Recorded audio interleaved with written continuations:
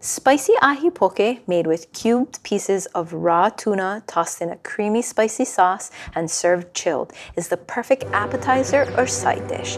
A twist on a traditional Hawaiian dish. It's so simple, so stick around.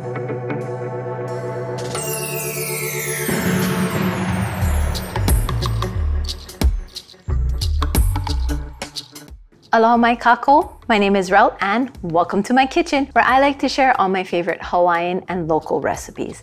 Now, today we'll be making a traditional Hawaiian dish with not so traditional toppings. Today we'll be making spicy ahi poke. Ahi poke is a traditional Hawaiian dish and I have a recipe for the original Hawaiian style ahi poke and you can find that in the description box below or in the card up here. Also, uh, shoyu ahi poke, which is personally one of my favorites. I'll link that below too. But today it's uh, more of a new updated way that people like to eat it. I don't know if new is a great word, but it's not traditional toppings. It's spicy, it's yummy, it's so good. So let's get started. First, you'll wanna get sushi grade poke, or ahi. Sushi grade, sashimi grade, there's no like exact science to say that, hey, if your fish is this, it's this category, if your fish is that. It's kind of the seller or the store or whoever is the one that determines that that's the grade it gets. So it's a good ballpark idea. You wanna make sure you get good fish from a trusted source, that's important. But this is grade one, grade A, ahi. And what you wanna do is make cubes, poke, chop, cut into cubes. So that's what this uh, ahi is. It's kind of thick. So what I'll do is cut it down a little. Fish, you'll want long single strokes. You don't want to saw because it'll really break up the fish. And this is such a nice fish, you don't want to do that. Um, you might not have to do this with yours if it's not as thick as mine, but single stroke, and if it doesn't go all the way through, you just put your knife back in and finish that cut in the same groove there. See how it's not tearing it up so much? Pressure and single stroke through. Pressure and single stroke until you get all the way through. And that's about the thickness. If you like really thick poke cubes, you totally can do that. And this one, yeah, we'll probably go like this. If you do go one forward and then it's one full one back, but as long as you're not like, then that's not so bad. That wasn't even a, a sound effect for cutting. I don't know what that was.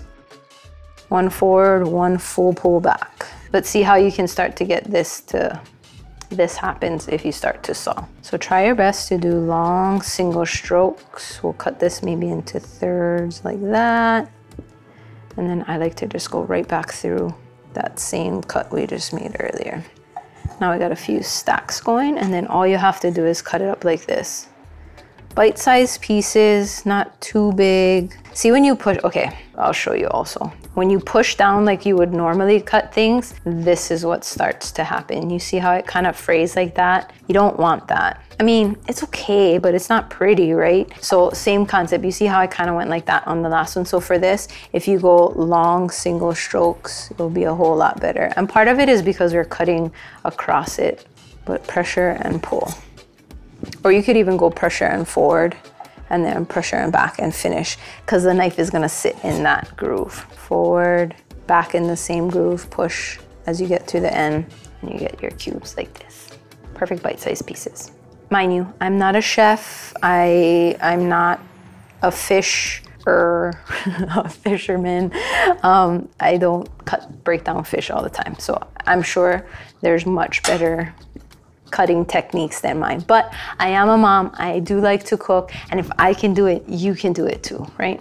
Okay, so cubed up, good. We can set that into a bowl while we make the sauce. So go ahead and put that in. Let me just rinse off my hands real quick and I'll be right back. All right, now wash my hands and we're gonna make the seasoning for this. First, you're gonna need some mayo. I like to use Kewpie mayo. It's a Japanese style mayo. It's a little bit, I would say sweet is the word, but it definitely packs a little bit more umami. You can use regular best food mayo too, no problem. I love that. But that will go in first. And this is like the base that gives it that almost creamy consistency. And then you can use any chili sauce or chili flake or whatever you want. I just like to use sriracha, works really well. And you'll add that in. Now, this is spicy, but not super spicy. I'm, my spice tolerance is terrible. I think, I think black pepper is spicy. Don't laugh, don't at me. So baby steps to getting to here. You'll also want to add some shoyu. Shoyu is Japanese style soy sauce, and you can find that in the Asian aisle at most grocery stores. If not, you can pick it up on Amazon or any of those other places. And sesame oil. Sesame oil is a strong flavor, so you don't want to add too much of it. Um, you can find that in the same Asian aisle as well. And then you'll want to mix this up. Raw fish was a large part of Hawaiians' diets back in the day, and it still is today. Poke, sashimi, and seafood in general. You know, a lot of the dishes included a lot of that. So it's gonna come into a like a consistency like this. And that's perfect.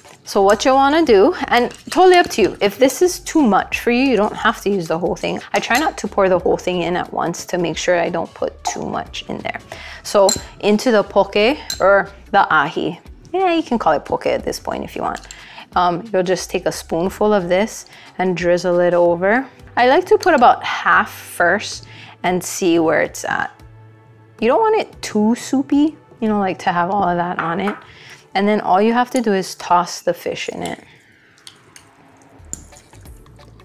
And it's pretty well coated at this point. Um, if you want more, by all means, you can. And when you stir, you don't want to like jab your um, mixing spoon or whatever. I use a spoon. A fork tends to um, stick into the fish, but you'll want to just kind of use the edge of the bowl to help you. So you'll slide your spoon around, and push it into the middle and flip. Turn the bowl, push and flip. And that way you're not like breaking up those beautiful cuts of fish that you just made. And then of course, a little bit of green onion. Everything is great with green onion.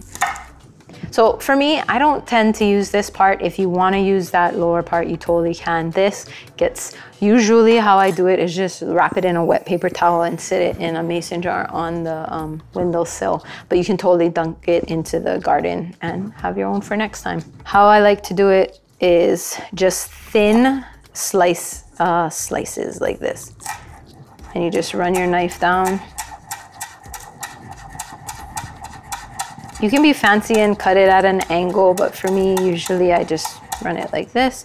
You can stack them on each other if you want, like that, and run the knife. For me, it's just getting those thin, thin slices. Sometimes what can happen is they kind of stick together like this, which is totally fine. You can just kind of pull them apart. Green onions, you could use scallions, you could use red onion, I guess, if you wanted, but green onion is my favorite. And this is just a few. This was just like three stalks, right? Happens to me all the time where I, the, the very last one doesn't really cut through. And then see, you know, add more start with less, I guess I should say, because you can always add more, right? And then the green onion, just sprinkle on top. You can add um, some sesame seeds into this if you really wanted to. Sometimes I like to add unagi sauce over the top. But generally, the spicy ahi like this is kind of how I like it. Like I said, add some sesame seeds and that's totally okay. And it'll look like this.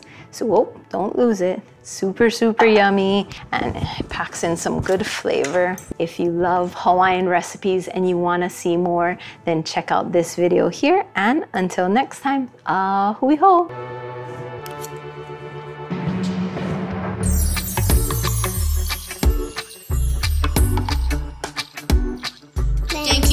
Watching my mommy's video.